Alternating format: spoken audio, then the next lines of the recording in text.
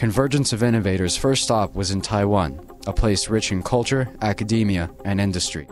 Taiwan features a world renowned semiconductor industry, and its students are all prepared for life on the cutting edge of research and technology. The conference was made possible through the support of six Taiwanese universities and the Industrial Technology Research Institute. National Taiwan University and National Tsinghua University were instrumental to the conference's success, lending us both the venues at which the conference was held and their expertise in panel discussions.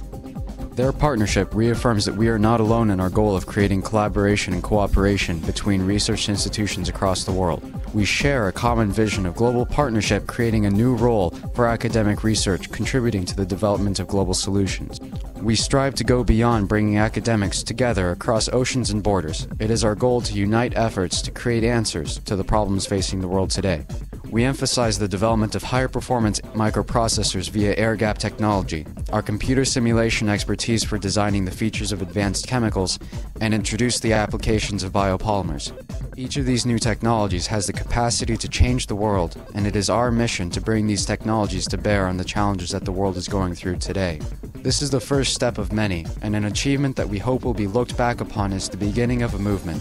Through this conference, we have begun dialogue with several companies, showing them how academic research can deliver the immediate value to the problems of the world. Academic minds join together in creating a common vision of how the technology being developed today might transform the world of tomorrow.